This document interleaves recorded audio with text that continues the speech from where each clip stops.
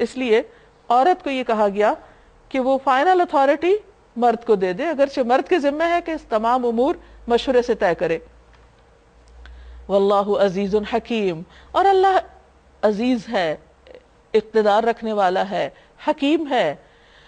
तलाक मर्रतान, तलाक दो बार है।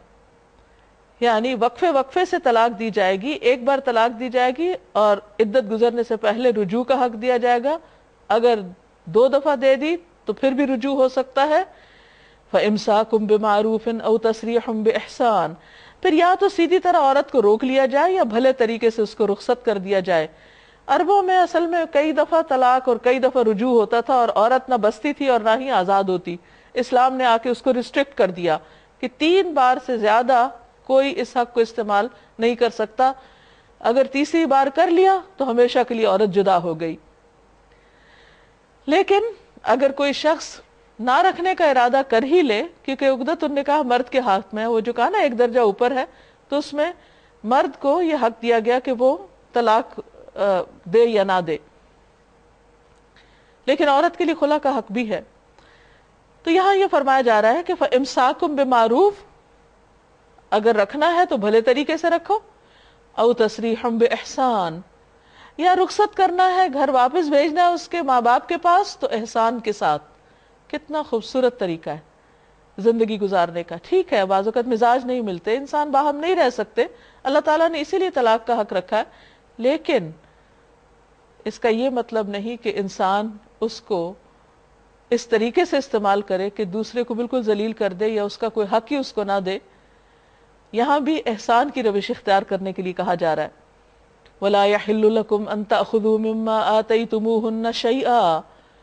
और रुखसत करते हुए ऐसा करना तुम्हारे लिए जायज़ नहीं कि जो कुछ तुम उन्हें दे चुके हो, उसमें से कुछ भी वापस लो। यानी शादी के बाद मर्द ने अगर अपनी बीवी को कुछ जेवर, कपड़ा, तहाइफ वगैरह दिए हैं तो तलाक के वक्त वो वापस नहीं ले सकते। ये इंतहा दर्जे की घटिया हरकत होगी। नबी सल्लल्लाहु अलैहि वसल्लम ने तोहफा देने के बाद वापस लेने को यानी एक ऐसी मिसाल के साथ वाजे फरमाया है कि जैसे कुत्ता कह करके दोबारा चाट ले। इन इंतहाई करी हरकत है, मकरू चीज़ है कि कोई शख्स किसी को कुछ दे और फिर नाराज़ हो तो उससे वापस ले ले। हाँ एक सूरत मुस्तसना है कि जोजैन को अल्लाह के हदूक पर कायम ना रह सकने का अंदेशा हो। यानी खुला के वक्त ऐसी सूरत में अगर तुम्हें ये खौफ हो कि वो दोनों हदूद इलाही पर कायम ना रहेंगे तो उन दोनों के दरमियान ये मामला हो जाने में मुजायका नहीं। कि औरत अपने शोहर को कुछ मुआवजा देकर अलहदगी हासिल कर ले। यानी जब तलाक मर्द देता है तो उसको हक महर देना होता है, और अगर औरत खुला लेती है तो फिर हक महर उसको वापस करना है। ये जो भी बाहम मामला तय हो, ये अल्लाह के मुकर करदा हदूद हैं। इनसे तजावुज ना करो। और जो लोग हदूद इलाही से तजावज़ करें, वही जालिम है। इन्हें अल्लाह ने लिमिट्स बता दी हैं दोनों को। अब इससे आगे नहीं बढ़ सकते। फिर अगर दो बार तलाक देने के बाद शोहर ने तीसरी बार भी तलाक दे दी तो वो औरत फिर उसके लिए हलाल नहीं रहेगी। वो इदा तल्लक तुमसा जब तुम अपनी औरतों को तलाक दे चुको और वो अपनी इद्दत पूरी कर ले तो फिर इसमें माने ना हो कि वो अपने जेर तजवीज शोहरों से निकाह कर लें, जबकि मारूफ तरीके से बाहम मुनाकहत पर राज़ी हों। यानी छुपा हुआ निकाह ना करें, बल्कि मारूफ तरीका हो। तुम्हें नसीहत की जाती है कि ऐसी हरकत हरगिज ना करना। यानी उनके दरमियान रुकावट मत बनना, अना का मसला नहीं बनाना। अगर तुम अल्लाह और रोज़े आखिर पर ईमान लाने वाले हो, तुम्हारे लिए शायस्ता और पाकिजा तरीका यही है कि इससे बाज रहो। यानी औरतों, औरत की शादी के रस्ते में रुकावट मत बनो। अल्लाह जानता है, तुम नहीं जानते। वलवालिदा कामिलैन। जो बाप चाहते हो कि उनकी औलाद पूरी मुद्दत रजात तक दूध पिए तो माए अपने बच्चों को कामिल दो साल दूध पिलाएँ। इस सूरत में बच्चे के बाप को मारूफ तरीके से उन्हें खाना कपड़ा देना होगा। मगर किसी पर उसकी वसत से बढ़कर बोझ नहीं डालना चाहिए। यानी जो वो नहीं कर सकता, उसके लिए मजबूर ना किया जाए। न तो माँ को इस वजह से तकलीफ़ में डाला जाए कि बच्चा उसका है, और न बाप ही को इस वजह से तंग किया जाए कि बच्चा उसका है। दूध पिलाने वाली का ये हक जैसा बच्चे के बाप पर है वैसा ही उसके वारिस पर भी है। लेकिन अगर फरीकैन बाहमी रजामंदी और मशवरे से दूध छुड़ाना चाहें तो ऐसा करने में कोई मुजायका नहीं। और अगर तुम्हारा ख्याल अपनी औलाद को किसी गैर औरत से दूध पिलवाने का हो, यानी माँ के अलावा तो इसमें भी कोई हरज नहीं, यानी कोई गुनाह की बात नहीं। बशर्ते कि उसका जो कुछ मुआवजा तय करो, वो मारूफ तरीके पर अदा करो, यानी किसी का भी हक नहीं मारो। अल्लाह से डरो और जान रखो कि जो कुछ तुम करते हो सब अल्लाह की नज़र में है। वल्लदीन युतवफ़ौन मिनकुम वयदरून अज़वाजन। तुम में से जो लोग मर जाएँ, उनके पीछे अगर उनकी बीवियाँ ज़िंदा हों तो वो अपने आप को चार महीने दस दिन रोके रखें। फिर जब उनकी इद्दत पूरी हो जाए तो उन्हें इख्तियार है अपनी जात के मामले में मारूफ तरीके से जो चाहे करें। तुम पर उसकी कोई ज़िम्मेदारी नहीं। अल्लाह तुम सबके अमाल से बाखबर है। जमाना इद्दत में खा तुम उन बेवा औरतों के साथ मंगनी का इरादा इशारे किनारे में ज़ाहिर करो। खा दिल में छुपाए रखो। दोनों सूरतों में कोई मुजायका नहीं। लेकिन अल्लाह जानता है कि उनका ख्याल तो तुम्हारे दिल में ज़रूर आएगा। मगर देखो, खुफिया ऐदो पैमान ना करना, यानी छुप के बात तय नहीं करना। अगर कोई बात करनी है तो मारूफ तरीके से करो। और अकद निकाह बांधने का फैसला उस वक्त तक ना करो, जब तक कि इद्दत पूरी ना हो जाए। खूब समझ लो कि अल्लाह तुम्हारे दिलों का हाल तक जानता है। लिहाजा उससे डरो, वालमू, और जान लो अल्लाह गफूर हलीम, बेशक अल्लाह बख्शने वाला बुरदबार है। तुम पर कुछ गुनाह नहीं, अगर अपनी औरतों को तलाक दे दो, कबल इसके के हाथ लगाने की नौबत आए या महर मुकर्र हो, यानी अभी निकाह ही हुआ, रुखसती नहीं हुई, और बात बिगड़ गई और तलाक पे नौबत आ गई तो कोई बात नहीं, तलाक हो सकती है। इस सूरत में उन्हें कुछ ना कुछ देना ज़रूर चाहिए। यानी एहसान की रविश इख्तियार करो। खुशहाल आदमी अपनी मकदरत के मुताबिक, अब यह तय नहीं किया कि इतने हज़ार या इतने लाख हर एक अपनी हैसियत के मुताबिक मामला करे। और वो कौन जानता है? अल्लाह सबसे ज़्यादा जानता है कि कौन क्या कर सकता है। खुशहाल आदमी अपनी मकदरत के मुताबिक और गरीब अपनी मकदरत के मुताबिक मारूफ तरीके से दे। ये हक है नेक आदमियों पर। और अगर तुमने हाथ लगाने से पहले तलाक दे दी हो नहीं रुखती नहीं हुई, लेकिन महर मुकर किया गया तो उस सूरत में निस महर देना होगा, आधा महर देना होगा, खा रुखसती नहीं भी हुई। ये और बात है कि औरत नरमी बरते और महर ना ले। या वो मर्द जिसके इख्तियार में अकद निकाह है, नरमी से काम ले और पूरा महर दे दे। और तुम नरमी से काम लो, ये तकवा से ज़्यादा मुनासबत रखता है वला तनसवुल फदला बैनकुम। आप इसके मामलात में फयाजी को ना भूलो, इतनी खूबसूरत हिदायत है। इख्तलाफ अपनी जगह, तलाक हो सकती है, एक दूसरे से दूर हो सकते हैं, लेकिन फिर भी अच्छा अखलाक, एक दूसरे के साथ भलाई और एक दूसरे के हकूक का ख्याल, इसको मत भूलो। वला फजला नकुम आपस में एहसान करना मत भूलो। इन अल्लाह बिमा तामलून बसीर, बेशक अल्लाह देख रहा है, जो भी तुम अमल करते हो, तुम्हारे सारे मामला उसके सामने हैं। हाफिजू अलसलावात वसलातिलवस्ता नमाजों की हिफाजत करो। यानी ऐसा ना हो कि इन झगड़ों में पढ़कर नमाजें तुम्हारी जाया होने लगे। मामलात कैसे भी हों, हालात कैसे भी हों, बीमार हो या सफ़र पर हो, लेकिन अपने नमाजों के औकात की पाबंदी करो। वसलातिलवस्ता और दरमियानी नमाज़। इससे मुराद असर की नमाज़ है। वकूमतिन और हिफाजत किस तरह होगी? कि इंसान नमाज़ के पहले भी जो शराय है, उनको भी पूरा करे, वक्त की भी पाबंदी करे, और उसके बाद जब नमाज़ में खड़ा हो तो पूरे खुशु खुजू से। और अल्लाह के आगे ऐसे खड़े हो, जैसे फर्मा बरदार गुलाम खड़े होते हैं। व इन खिफ तुम फरिजालन और रुकबाना। बदमनी की हालत हो तो खा पैदल हो, खा सवार, जिस तरह मुमकिन हो नमाज़ पढ़ो। अब देखिए कि जो नमाज़ सफ़र में माफ़ नहीं, जो नमाज़ जंग में माफ़ नहीं, वो घर में बिस्तर पर आराम करते हुए कहाँ से माफ़ हो जाएगी? फजकुरुल्लाह कमा अल्लमकुम, फजकुरुल्लाह, अल्लाह को याद करो। कैसे? कमा अल्लमकुम, जैसे उसने तुमको सिखाया, जिस तरीके पर उसने पसंद किया। फ़ैदा अमिन तुम फस्कुरुल्लाह कमा अल्लमकुम मालम तकूनु तालमून और जब अमन मैसर आ जाए तो अल्लाह को उस तरीके से याद करो जो उसने तुम्हें सिखाया, जिससे पहले तुम नावाकिफ थे। यानी जो तुम नहीं जानते थे, अल्लाह ने तुमको बताया, उस तरीके पे अल्लाह को याद करो, अपने तरीकों से नहीं। वल्लदीन युतवफ़ौन मिनकुम वयदरून अज़वाजा। वो लोग जो तुम में से वफात पा जाए और अपने पीछे बीवियाँ छोड़ जाएँ उनको चाहिए कि अपने बीवियों के हक में ये वसीयत कर जाएँ कि एक साल तक उनको नान नफका दिया जाए। ये पहला हुक्म था। बाद में जब वरासत का हक औरतों को दे दिया गया तो ये हुक्म मनसूख हो गया। और वो घर से निकाल ही ना जाए। फिर अगर वो खुद निकल जाए तो अपनी जात के मामले में मारूफ तरीके से जो कुछ भी वो करे, उसकी कोई ज़िम्मेदारी तुम पर नहीं। अल्लाह सब पर गालिब, इकतदार रखने वाला और हकीम दाना है।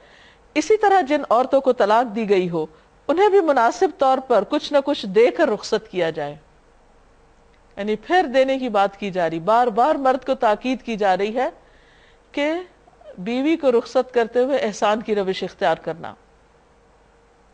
हक्कन अलल मुत्तकीन। मुत्तकीन पर यह हक है, यानी लाजिम है। ये तकवा की अलामत है। खुदा खौफी का तरीका है। कदालिक युबैनुल्लाहुलकुम आयाति ही इस तरह अल्लाह अपने अहकाम तुम्हें साफ़ साफ़ बताता है लाकुम ताकिलून, ताकि तुम समझ बूझ से काम करो, अकल से काम लो। अलम तर इल्लदीन खरजू मिन दियारिहिम वहुम उलूफ हजर अल मौत तुमने उन लोगों के हाल पर भी कुछ गौर किया, जो मौत के डर से अपने घर बार छोड़कर निकले? और वो हज़ारों की तादाद में थे। यहाँ से अब एक दूसरा सिलसिला तकरीर शुरू हो रहा है। जिसमें मुसलमानों को अल्लाह के रास्ते में जान माल देने पर उभारा गया है और उन्हें उन कमजोरियों से बचने के लिए कहा गया है, जिनकी वजह से बनी इसराइल को जवाल हुआ। अब यहाँ पर बताया यह जा रहा है कि तुम मौत के डर से अल्लाह के रास्ते में निकलने से मत डरो।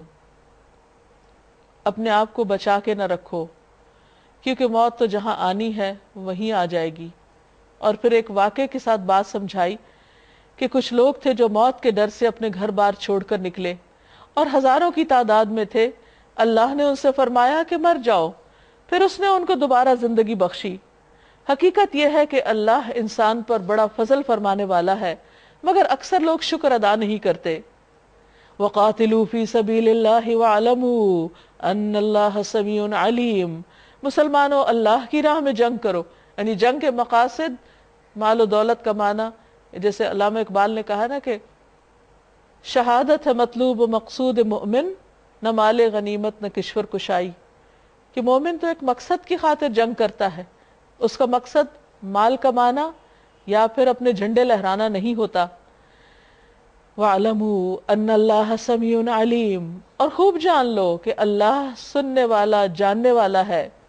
मन युक्रिदुल्लाह करदन हसनन फ़युदाफ़हू लहू अदाफ़न कसीरा वल्लाहु यकबिदु व यबसुत व इलैहि तुरजाऊन कौन है जो अल्लाह को कर्ज दे? अच्छा कर्ज, यानी बेगर्ज होकर, बेलॉस होकर, किसी जाती मफाद की खातिर नहीं, बल्कि अल्लाह की रजा की खातिर, अल्लाह के दीन की तरक्की की खातिर। फिर वो उसको कई गुना बढ़ा चढ़ा कर वापस करे और अल्लाह कब्ज कर लेता है, यानी कम करता है, घटाता भी है वो यबसुतु और बढ़ाता भी है, और उसी की तरफ़ तुम सब लौटाए जाओगे। अलम तरा इलमला इसराइल मूसा। क्या तुमने मूसा सलाम के बाद बनी इसराइल के सरदारों को जो मामला पेश आया उसकी तरफ़ नहीं देखा, उस पर गौर नहीं किया? यानी मुसलमानों को उनके वाकयात सुनाओ। मूसा सलाम के तकरीबन 300 साल के बाद जब बनी इसराइल को बहुत ही जवाल हो गया तो उस पर उन लोगों को ख्याल आया कि हमें अपने लिए कुछ करना चाहिए। तो वो अपने नबी के पास गए और उनसे कुछ मुतालबे किए। उसकी तफसील यहाँ पर आती है। तो नबी सल्लल्लाहु अलैहि वसल्लम को हुक्म दिया जा रहा है कि वो वाक़ सुनाकर मुसलमानों के अंदर जज्ब जिहाद पैदा करो। उन्होंने अपने नबी से कहा, हमारे लिए एक बादशाह मुकर कर दो ताकि हम अल्लाह की राह में जंग करें। नबी ने पूछा, कहीं ऐसा तो नहीं होगा कि तुमको लड़ाई के लिए हुक्म दिया जाए और फिर तुम ना लड़ो? वो कहने लगे, भला ये कैसे हो सकता है कि हम राह खुदा में ना लड़े, जबकि हमें अपने घरों से निकाल दिया गया, जैसे मुसलमानों को निकाला गया था, और हमारे बाल बच्चे हमसे जुदा कर दिए गए, रिश्ते काट दिए गए। मगर जब उनको जंग का हुक्म दिया गया तो एक कलील तादाद के सिवा वो सब पीट फेर के चले गए, और अल्लाह उनमें से एक एक जालिम को जानता है। यानी मोमिन का ये काम नहीं कि जो कहे फिर वो करे नहीं। तो मुसलमानों को असल में बनी इसराइल के वाकयात से ये समझाना मकसूद है कि तुमने वो नहीं करना जो वो कर चुके हैं, उन गलतियों से बचना है, वरना अंजाम वही होगा जो उनका हो चुका। उनके नबी ने उनसे कहा कि अल्लाह ने तालूत को तुम्हारे लिए बादशाह मुकर किया है। ये सुनकर वो बोले, हम पे बादशाह बनने का वो कैसे हकदार हो गया? उसके मुकाबले में बादशाही के हम ज़्यादा मुस्तक हैं। वो तो कोई बड़ा मालदार आदमी नहीं। हमें चुना जाना चाहिए था। नबी ने जवाब दिया, अल्लाह ने तुम्हारे मुकाबले में उसी को मुंतखब किया है और उसको दिमागी और जिस्मानी दोनों किस्म की अहलियत फरावानी के साथ अता की हैं। और अल्लाह को इख्तियार है कि अपना मुल्क जिसे चाहे दे। अल्लाह बड़ी वसत रखता है और सब कुछ उसके इल्म में है। उसके साथ उनके नबी ने उनको ये भी बताया खुदा की तरफ़ से उसके बादशाह मुकर होने की अलामत यह है कि उसके अहद में वो संदूक तुम्हें वापस मिल जाएगा, जिसमें तुम्हारे रब की तरफ़ से तुम्हारे लिए सुकून कल्ब का सामान है। कहा जाता है कि बनी इसराइल का ये बॉक्स, जिसमें मूसम की तौरात की तख्तियाँ भी थी, उनका असाब भी था, कुछ मनो सलवा के बकिया जात भी थे। तो इसको ये बहुत अज़ीज़ रखते थे। तो एक जंग में ये बॉक्स इनसे छिन गया था और ये चाहते थे कि वो वापस आ जाए। तो अल्लाह ताला ने वादा किया कि अगर तुम अल्लाह के रास्ते में निकलोगे और तालूत तुम्हारे सरबराह होगा तो तुम्हें वो बॉक्स वापस मिल जाएगा। तो जब लोगों ने इस पर एतराज़ किया कि तालूत को क्यों बादशाह बनाया गया है और उसके पास माल नहीं तो अल्लाह ताला ने फरमाया कि अल्लाह ने उसको तुम पर इसलिए चुना है कि उसको इल्म और जिस्म में वसत दी है। यानी वो एबिलिटी रखता है। सिर्फ़ माल ही वो क्वालिटी नहीं होती कि जिसकी बिना पर इंसान लीड करे। उसके लिए इंसान को जहनी, जिसमानी सलाहियतें और ताकतें भी चाहिए होती हैं और वो उसके पास वाफिर मकदार में मौजूद हैं। वल्लाती मुल्क मैशा और अल्लाह जिसको चाहता है, अपना मुल्क अता करता है और अल्लाह वसत वाला, जानने वाला है। और उनके नबी ने उनसे कहा कि उसकी हुकूमत या उसकी बादशाहत की निशानी ये होगी कि तुम्हारे पास वो ताबूत वापस आ जाएगा, जिसमें तुम्हारे रब की तरफ़ से सकीनत है। और आल मूसा और आल हारून के बकाया जात हैं, जिसको फरिश्ते उठाए हुए होंगे। कहा जाता है कि उसमें तौरात की तख्तियाँ थी मूसम का असा था और इसके अलावा मनो सलवा भी था। और फरिश्ते उसकी हिफाजत कर रहे थे, अगरचे वो इनसे छिन चुका था, दुश्मनों के पास था। इन नफीजा आयतलकुम बेशक इसमें तुम्हारे लिए निशानी है। इन कुन तुम मिनीन अगर तुम मोमिन हो फलम्मा फ़सल तालूत बिल जुनूद फिर जब तालूत लश्कर लेकर चला तो उसने कहा, एक दरिया पर अल्लाह की तरफ़ से तुम्हारी आजमाइश होने वाली है। यानी जब इंसान अल्लाह के रास्ते में निकलता है तो उसका इम्तिहान ज़रूर होता है। फमन शरिब मिन फलई मिन्नी। तो जो उसमें से पानी पिएगा, वो मेरा साथी नहीं। और मेरा साथी सिर्फ़ वो है, जो उससे प्यास ना बुझाए। हाँ एक आध चुल्लू पी ले तो कोई हरज नहीं।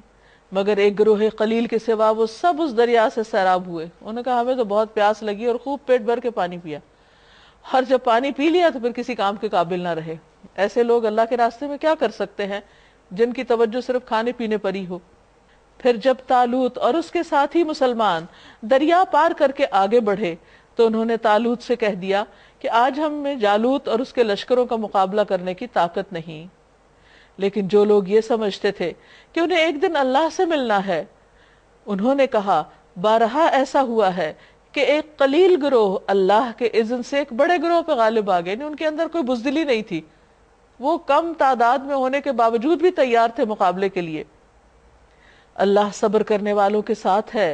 और जब वो जालूत और उसके लश्करों के मुकाबले पर निकले तो उन्होंने दुआ की रबना अफरगना सब्र वसबित अकदामना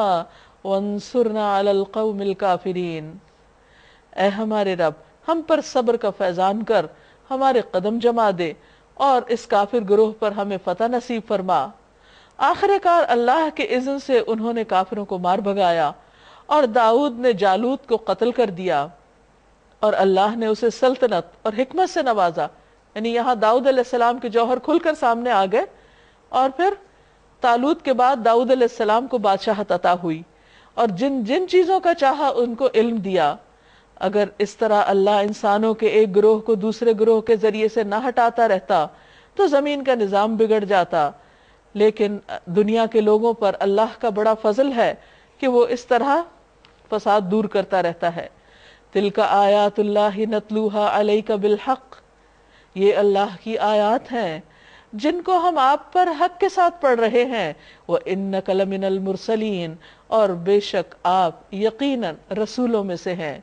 वह आखिर दावाना अनिलहमदुल्ला रबालमीन अब आपके जहन में कोई सवाल हो या आप कोई बात कहना चाहें या इस बारे से आपने जो सीखा है, अगर उसमें से कुछ आप शेयर करना चाहें तो मोस्ट वेलकम। इस बारे में जो मुझे अच्छी बात लगी वो आ, हलाल और तैयब का हुक्म था जो अल्लाह ताला ने तमाम इंसानियत को दिया है मुसलमानों को भी और तमाम इंसानों को भी फिर। और इसमें हम अगर देखें तो आज ये चीज़ हमारी ज़िंदगी से निकलती जा रही है और जंक फ़ूड जो है वो बहुत ज़्यादा कॉमन हो गया और उसकी वजह से जी बीमारियाँ बहुत हैं और मुख्तलिफ़ तरह की ओबेसिटी है फिर इसी तरह डायबिटीज़ है और बहुत कुछ हमें नज़र आता है। और इसके बरक्स अगर हम सुन्नत को फॉलो करें और उसकी तरह से उसकी गज़ाएँ इस्तेमाल करें तो ज़्यादा हमारे लिए फ़ायदेमंद है। अल्लाह ताला ने इस पारे के अंदर जो हम शुरू से पढ़ रहे हैं तो इसके अंदर अल्लाह ताला ने जो अहकाम देना शुरू किए हैं सबसे पहले किबले के तहवील का हुक्म है फिर उसके बाद जो अहकाम आए हैं तो सबसे पहला जो हुक्म दिया इसके अंदर उसके अंदर ये कहा है कि ये आ, मुश्किल लगता है लेकिन जो हिदायत याफ्ता होते हैं उनके लिए कुछ मुश्किल नहीं है। जिनके दिल अच्छे होते हैं, हिदायत पाने वाले होते हैं, उनके लिए कुछ मुश्किल नहीं होते। इसमें ताज़ा एक चीज़ जो आज के पारे से हमने, मुझे अच्छी लगी वो ये थी कि अल्लाह ताला ने हमें उम्मत वस्त बनाया। और उम्मत वस्त क्या है? एक बेहतरीन उम्मत। तो उस बेहतरीन उम्मत के को भेजा और उसको कुछ गोल्स दिए, कुछ ऑब्जेक्टिव्स दिए, कुछ मकसद दिए। तो किसी जगह मैं पढ़ रही थी कि एक हॉलीवुड के स्टार ने एक मूवी का रोल प्ले करने के लिए इस कदर अपनी ज़िंदगी का कई साल लगा दिए कि वो जो रोल उनको दिया गया था कि वो कैसे खाते हैं कैसे पीते हैं उसने अपने पूरे घर को उस रोल के मुताबिक अपनी पूरी ज़िंदगी वैसे उसने चेंज कर दी। योगा के स्टाइल में बैठना शुरू कर दिया अपनी स्किन को टैन कर लिया सिर्फ़ एक रोल के लिए। तो आप देखिए कि हम हमें तो अल्लाह ताला ने वैसे ही ऑलरेडी एक रोल देकर भेजा है बहुत बड़ा रोल दिया है। तो हम बहसीत कौम बहसीत उम्मत क्या हमारे कुछ विजन है क्या हमारा कुछ मिशन है क्या हम उस जो अल्लाह ने मकसद दिया है उसकी तकमील के लिए हम क्या कर रहे हैं? ये हम सबने सोचना है। नाजरीन इसके साथ ही हमारा आज का प्रोग्राम ख़त्म हुआ। इजाज़त चाहते हैं। अस्सलाम वालेकुम वरहमतुल्लाहि व बरकातहू